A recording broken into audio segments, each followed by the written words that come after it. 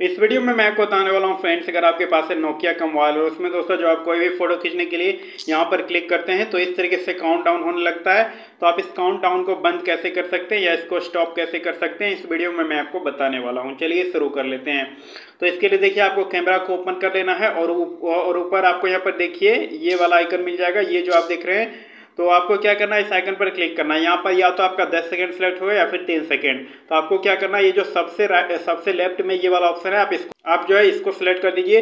तो इसको सिलेक्ट कर देंगे तो फिर दोस्तों, वो कैमरा टाइमर का सेकेंड हट जाएगा और फिर टाइमर भी हट जाएगा। अब अब अगर आप फ़ोटो खींचेंगे तो डायरेक्ट आपका फ़ोटो खींच जाएगा, कोई भी काउंट नहीं होगा। इस तरीके से आप कैमरा से टाइमर हटा सकते हैं अपने नोकिया के मोबाइल में। वीडियो पसंद आया, वीडियो को लाइक करिएगा चैनल पे नए सब्सक्राइब करिएगा।